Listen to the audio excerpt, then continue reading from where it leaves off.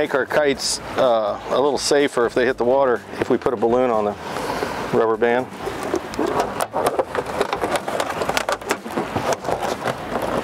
That just helps the kite not sink. Okay. So one of the things we make for kite fishing is a hook. It seems kind of like a not a real important part, but it serves a lot of purposes. It helps us to organize our our cords.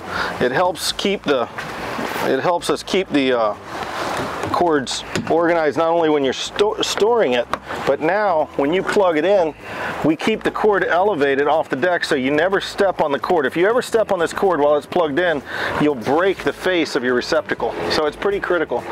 And then on three occasions we've had on rough days, if we didn't have this cord, the whole electric reel goes out of the gunnel. And if it comes unplugged, it's free willy. So now we're chasing it down. You know, that little clip has helped us save a lot of, a lot of problems. So we're gonna unhook this, plug it in.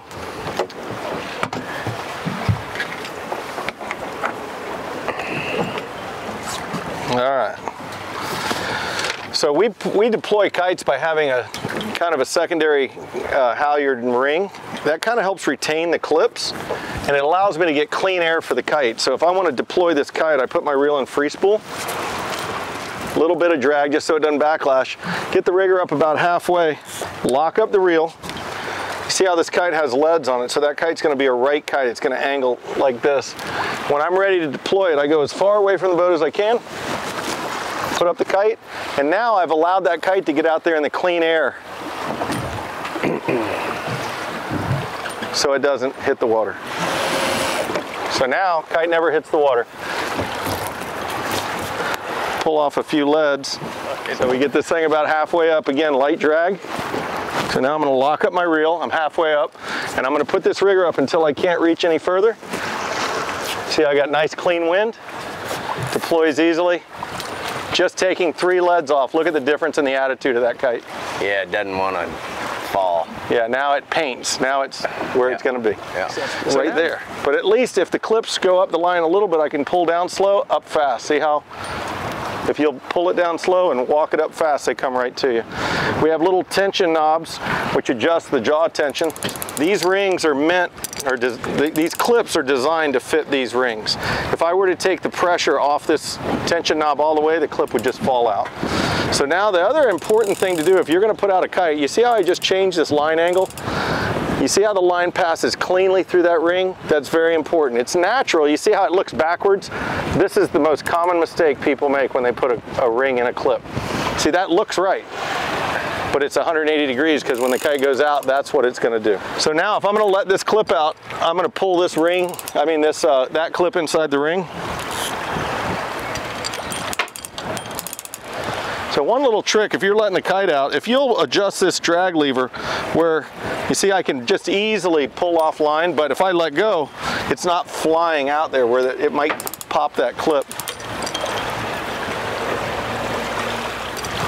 Now as soon as the mark comes, I'm going to jump these short and middle clips over that mark so we retain them.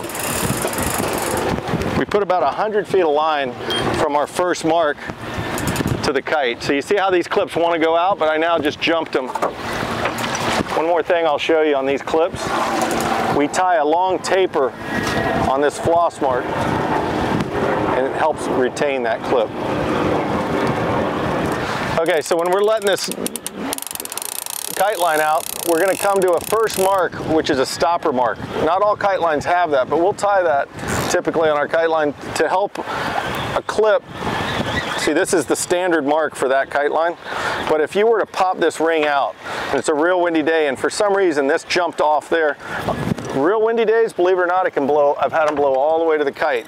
So by tying this little secondary mark, which the clip can pass over, but it's like a speed bump. It doesn't want to go over that. That just helps you retain your clips on a real windy day. Keeps it from flying up the kite line also. Right. So and there's your angle. That's important for your middle and for your short, short, on windy days because it's very aggravating. You fish as little lead as possible, right. and when you see your corks blowing up, yeah. it's aggravating yeah. as an angler like hell. It'll blow up even with the bait on, like yeah. you're saying. Yeah. Yep. So now I'm retaining these clips by virtue of that ring. So now we're letting the, that long clip go, but you got about another 60 or 70 feet to the next mark. So now, you see how I got some drag on here? I can stop it easily because I put enough drag on this reel. This is something a lot of people overlook. The drag on this reel is critical, especially on a windy day, to make your life easy. Use the drag on this reel. Use the hook under the gunnel so you don't have to worry about a kite rod coming out of the gunnel or a kite line getting away from you. See right there, I can stop at any time. As a matter of fact, when we're kind of one mate operation, we'll put this, we call it chicken winging. See? See what I'm yeah. doing? I'm letting the kite line out just by moving my arm. Now I can be over here bridling Putting bait. baits. Yeah. So when you're short-handed, we chicken wing. So here's a similar deal. There's your stop. Yeah, there's a stopper. And there's your floss mark. Yeah. You can tell these are well used. So Ray, while we're doing this, go ahead and stop that for one second. Yep. We know that you guys at R&R Tackle make your own kite lines. Yep. So why don't you tell everybody what's different about yours than some most traditional kite lines that are out there? Most of the kite lines use swivels for the long in the middle and the short. We use swivels only on the short typically. And that, that allows uh, the kite line to be 100% strength, strength through that long clip especially. The, the long clip's the critical one because that's where you would use the tiniest swivel. Our clips are 1 16th hole, 1 8th hole, 3 16th, and 1 quarter.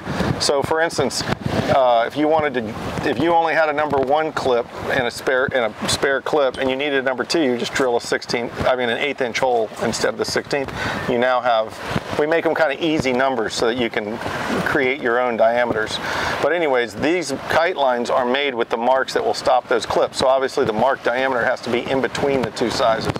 The other thing that makes that really good, guys, on the light windy days, the days when the wind is real light, all that terminal tackle, all those swivels adds to the weight of the kite and sometimes can keep the kite from really flying the way we want it Elevating, to fly. yeah, and that's part of why I got into building those clips because they weigh a lot less than a Black's clip with a metal tension screw and a metal arm.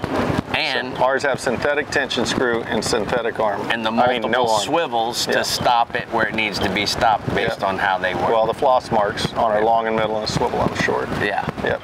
Cool. So guys, if you like this video with Captain Ray, continuing our R&R product line uh, videos, make sure you subscribe and click on the link below.